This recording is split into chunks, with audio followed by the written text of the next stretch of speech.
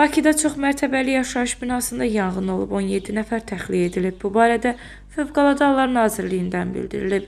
112 qaynar telefon xəttinə Bakı şəhəri Binəqədi rayonu 9-cu mikrorayonda yerləşən çox mərtəbəli yaşayış binasında yanğın baş verməsi barədə məlumat daxil olub. Məlumatla əlaqədar dərhal əraziyə Fövqəladə Hallar Nazirliyinin Dövlət Yanğından Mühafizə Xidmətinin qüvvələri cəlb olunub. Yanğın söndürənlərin çevik müdaxiləsi sayəsində yaşayış binasındakı elektrik lövhəsində baş vermiş yanğın genişlənməsinə imkan verilmədən qısa müddətdə söndürülüb. Həmçinin tüstü dolmuş binadan sakinlərin təxliyəsi həyata keçirilib.